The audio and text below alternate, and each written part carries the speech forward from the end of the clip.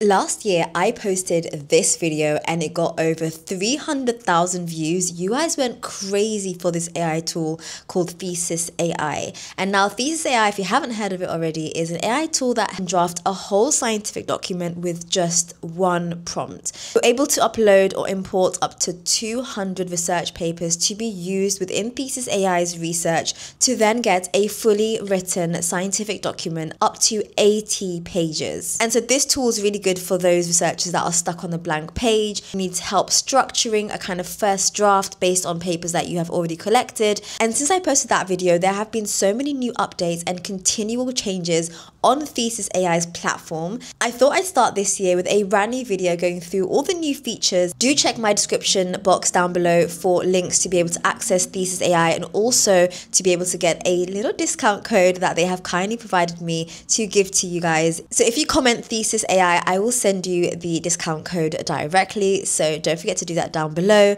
So let's get straight into today's video. So this is what it looks like when you first open up Thesis AI. You can either start chatting uh, or you can go to your previous documents that you may have uh, created in the past. So I'm going to go to the chat straight away. To be able to draft this scientific document, you need to have research papers. So there are three ways that you can do this on Thesis AI. The first is to upload research papers from your desktop that you've downloaded. The second is using Semantic Scholar, and I'll show you how to do this later or you can upload from Zotero or Mendeley. So if you have kind of folders there containing research papers, you can upload them directly from your reference manager. I'm going to start off by actually uploading some PDFs by myself. So here I've uploaded only seven, but you can upload up to 200. I'm just uploading a couple for the purpose of this video and to keep it a little bit quick. So this is where the whole one prompt thing comes in. So all you need to do is write a short description as to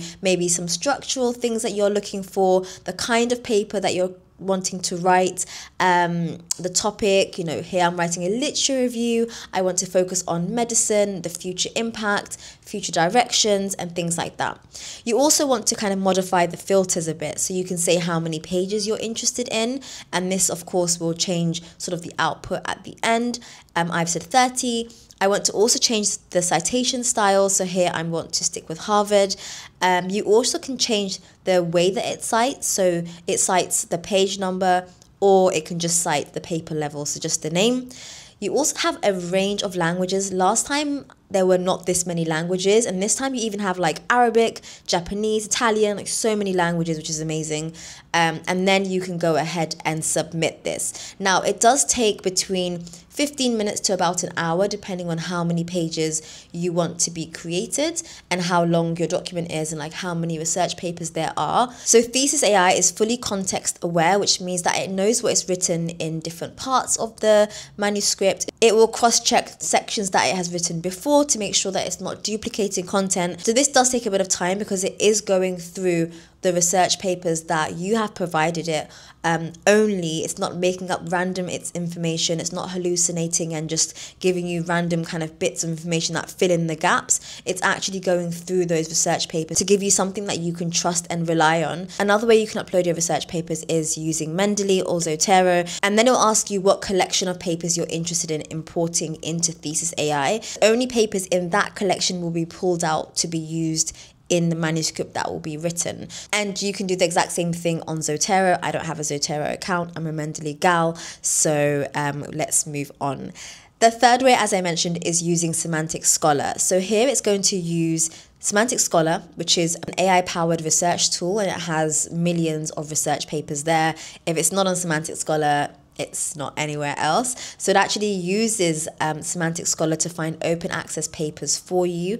All you have to do is input your topic or description or what it is that you're writing about, and it will search for those papers automatically and then it will start the writing process. And now, after waiting not very long at all, I have my document that has been successfully completed.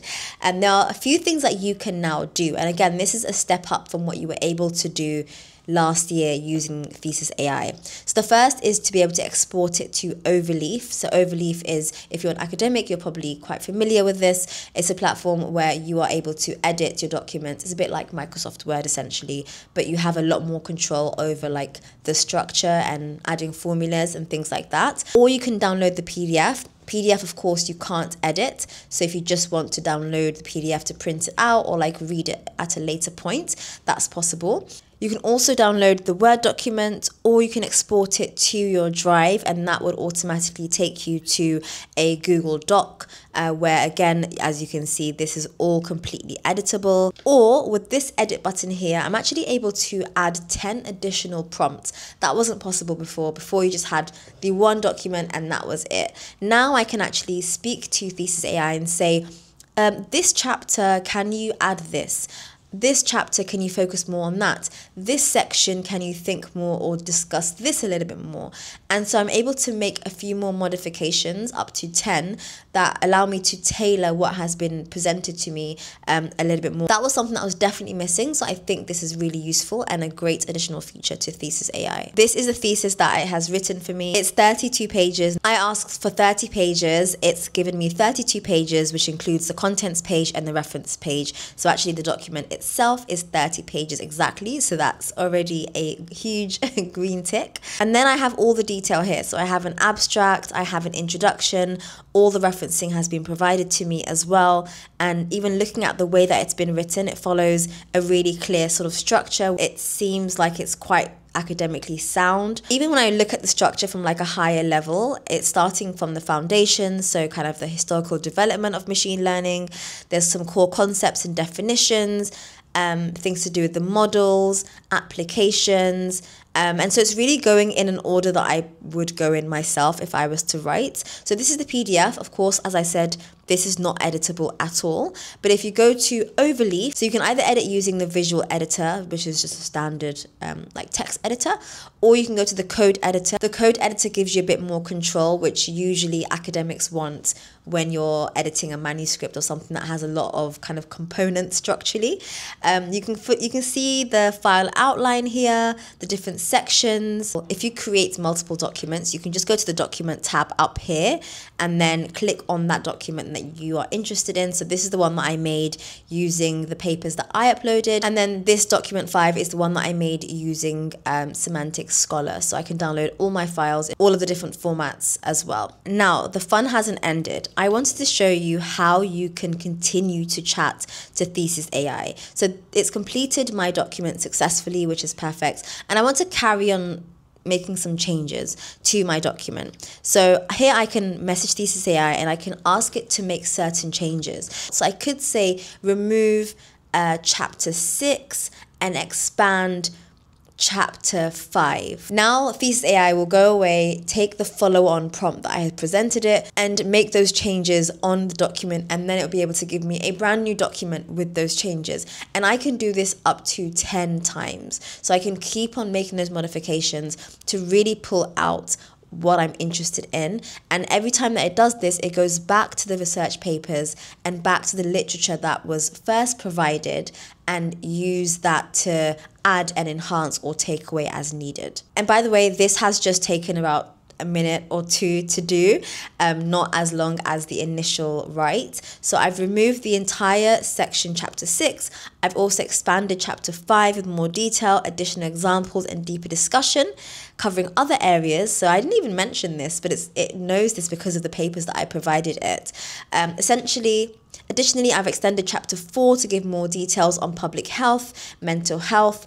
Um, do you want to edit or improve anything else? And I can go back down here. I now have nine edits remaining and I can give another suggestion. So I can take a look here at the edits. So of course, this is not how I want to look at it. I'd rather look at it through Overleaf. I can see that in the application chapter, this has been expanded quite significantly. So that's quite impressive. But of course, I need to read it and make sure that it matches what I'm interested in. And then I can give a further edit if need be. For me, the features that make Thesis AI really unique is number one, that you're able to analyze a number of PDFs up to 200. Number two is that it can draft a full thesis or research paper for you based on those papers that you have provided. Number three is that it now uses Semantic Scholar. So even if I don't have those papers at hand and I want to generate a document about a certain topic, uh, it can do that using academic literature only that it's taken from Semantic Scholar. Number four, the fact that it uses Overleaf and that I can integrate with Overleaf, especially as someone in STEM and within research. The output works well with Overleaf, so it gives you a lot more flexibility as to how you edit and as to how you actually make those final touches yourself. Like I said, this video is a follow up to the one that I did last year, and as you can see, there have been so many changes made in such a short space of time. And if you want to try it out yourself, I will leave the link for it down below and the discount code as well is Amina20 for 20% off. Let me know if you tried Thesis AI last time and what you think about it and I'd love to know whether you're going to try it again. And I really hope this video is useful and it enlightened you on a tool that I think is quite unique and a one of the kind in the market. And I really hope to see you in my next video. Don't forget to comment Thesis AI down below and I'll send you the link directly and I'll see you in my next video. Okay, bye.